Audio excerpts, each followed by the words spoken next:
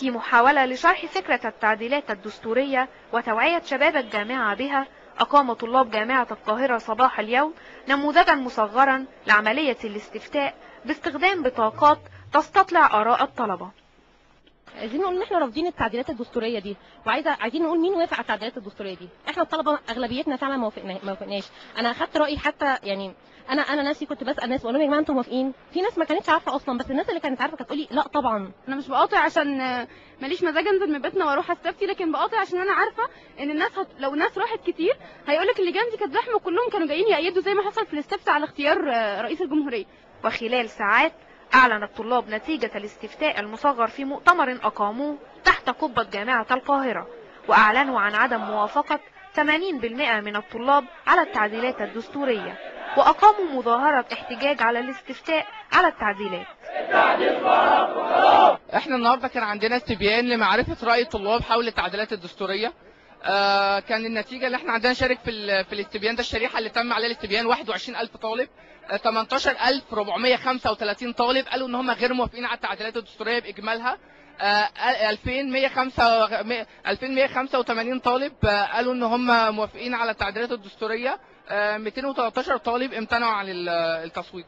فالنتيجة باينة إن هو أكتر من 80% من الطلاب مش موافقين على التعديلات الدستورية برمتها بإجمالها. وبينما كانت المظاهرات في جامعة القاهرة قائمة كان طلاب جامعة عين شمس يشاركون في مظاهرة ولكن الأمن تدخل فيها وحاول فضها ليصاب بعض الطلبة. وفي إطار الاحتجاجات على التعديلات الدستورية تظاهر طلبة جامعة طنطا أيضا وطالبوا بمقاطعة الاستفتاء وحمل نعشا رمزيا بالتعديلات الدستورية والتي أصبحت جثة هامدة في نظرهم.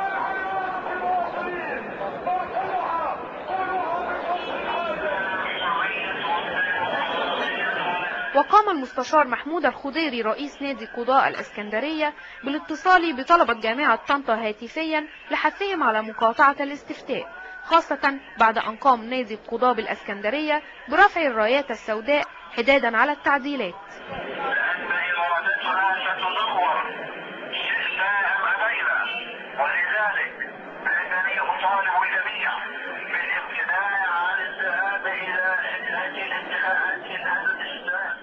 كما نظم طلاب جامعة المنوفية حملة طلابية بعنوان قاطع من أجل مصر وخلالها احتشد الآلاف من طلاب الجامعة في مسيرة ضخمة حمل فيها الطلاب نعشا ملفوفا بعلم مصر وكان من بين المشاركين في المسيرة الدكتور يحيى الجمل الذي حاول أن يوضح مساوئ التعديلات الدستورية.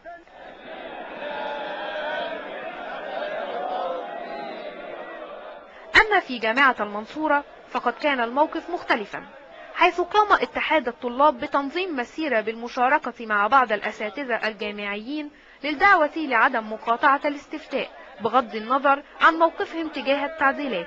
إحنا بندعي الطلبة زمايلنا إن هم يشتركوا بإدلاء الرأي بس في الاستفتاء.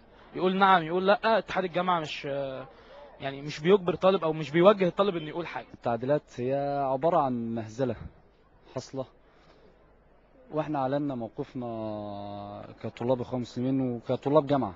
كطلاب جامعة كله طلبة أول مرة مش أول مرة الطلبة كلها تجتمع على على المقاطعة